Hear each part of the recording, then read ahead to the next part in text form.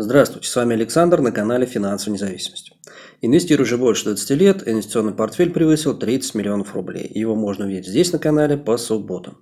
А сегодня я продолжаю обзор биржевых инвестиционных фондов, обращающихся на московской бирже.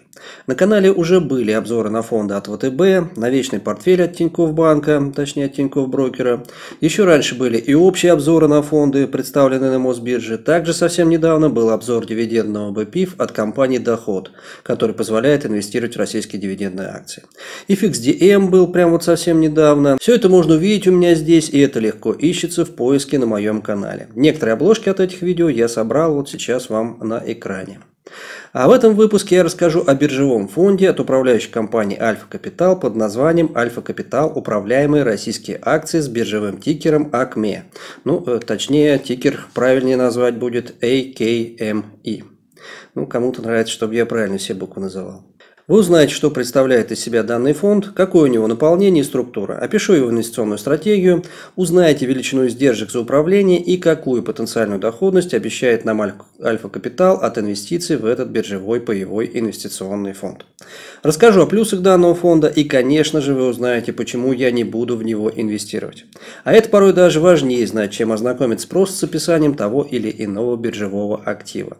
Видео будет полезно всем, так как содержит описание большей части критериев, по которым стоит выбирать фонды для инвестирования. Уверен, что после этого ролика вы будете в состоянии критически оценить другие фонды примерно по тем же характеристикам и принять верное решение для своего инвестирования.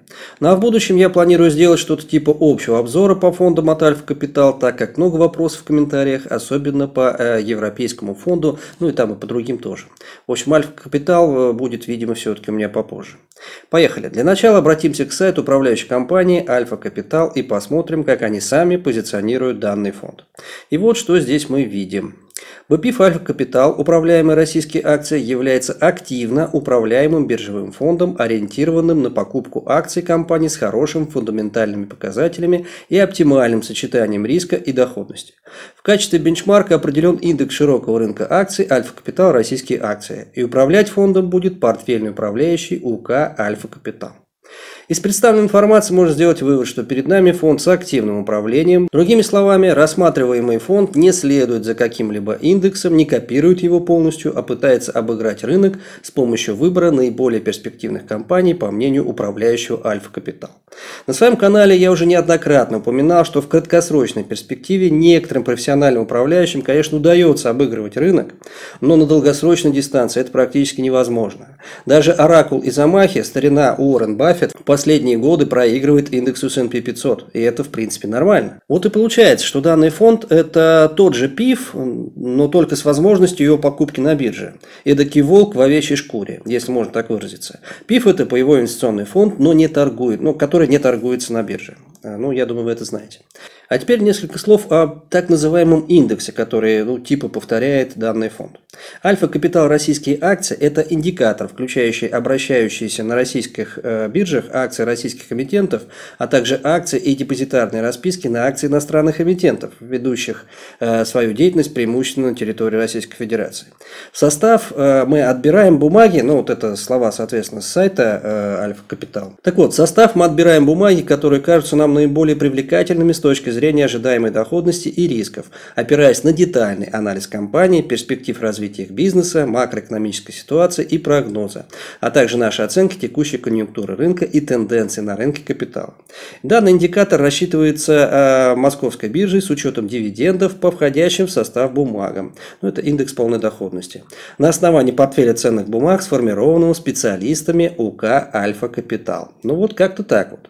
То есть, по сути, покупая по этому фонду, мы отдаем свои денежные средства в доверительное управление конкретному управляющему, ну или конкретной э, управляющей компании.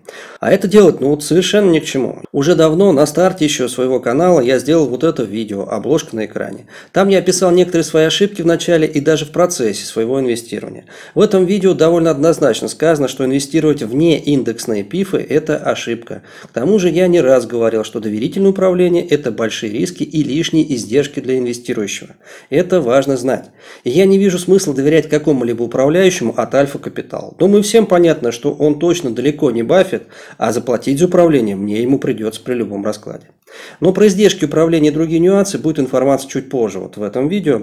А сейчас очень хочу поблагодарить всех, кто поддерживает канал лайками и комментариями. Отдельное спасибо зрителям, которые поддерживают канал материально через кнопку «Спонсировать». Спасибо, что поддерживаете мои аналитические обучающие материалы и понимаете, что это нелегкий труд. Продолжаем. Фонд был запущен и стал доступным для торгов на московской бирже с декабря 2020 года. С момента запуска фонда его доходность составила около 14%. Это неплохая доходность, однако фонд очень молодой, и его запуск пришелся как раз на фазу роста рынка акций. И ориентироваться на текущую доходность пока не имеет вот вообще никакого смысла. Для того, чтобы реально оценить эффективность данного фонда, должно пройти достаточное количество времени, и тогда уже можно будет адекватно оценить работу управляющих э, этим фондом. Но по факту это, в общем-то, даже и не интересно. Вряд ли управляющий окажется новым Баффетом, Рэем Далио или, Питер, или Питером Линчем. Ну а теперь, э, как и обещал, давайте перейдем к самому интересному и важному. Сколько придется заплатить за все это удовольствие, за это активное управление? А тут мы видим одну из самых высоких комиссий за управление среди э, многих э, БПИФов на московской бирже, ну и ETF в том числе. Общие издержки составляют 1,91%, ну то есть почти 2%. Это, конечно же, большой минус. На мой взгляд, комиссия очень высокая и совсем не привлекательная для долгосрочного инвестора. Но Альфа Капитал оправдывает столь высокую комиссию за управление возможностью заработать больше, чем э, дает просто индекс московской биржи. Но управляющий может и не заработать больше широкого рынка российских акций, а комиссию заберут обязательно. В этом есть уверенность. Но есть у этого фонда и плюсы. Есть и такое, как ни странно. Так вот, что же касаемо плюсов фонда, сюда можно отнести минимальный порог э, для инвестиций. Это всего 100 рублей. Такая сумма легко может вписаться в ваше регулярное инвестирование. Кроме того, плюсом считаю нулевую ставку налога на дивиденды, который, кстати, реинвестируется внутри фонда. Ну, данная налоговая льгота также имеется и у многих других биржевых фондов на российский рынок. А, ну, кроме разве что ETF, по-моему, от Finex и ITI Funds. Там а, фонд Русе. А, в общем, такая льгота – это не редкость, совсем не редкость. И по сути получается, что это единственный существенный для инвестора плюс данного фонда от Альфа Капитал. Да и он не выделяет фонд среди основных конкурентов. Подводя итоги, скажу, что БПИФ от Альфы, управляемые российские акции, очень неоднозначный. Он не подходит для пассивного инвестора, и на текущий момент времени пока непонятно, какие инвестиционные результаты от него можно ожидать и какая выгода может быть инвестору при покупке фонда. Мой вердикт – однозначно не покупать. А в будущем я планирую сделать что-то типа общего обзора по фондам от Альфа, так как много вопросов в комментариях, и постараюсь выделить э, плюсы, минусы от этих, у этих фондов. Ну, в общем, если найду время, то сделаю. Но на сегодня это все. Хочу вам пожелать удачных инвестиций и достижения ваших финансовых целей. Всем здоровья большого профита, и да пребудет с вами сила сложного процента.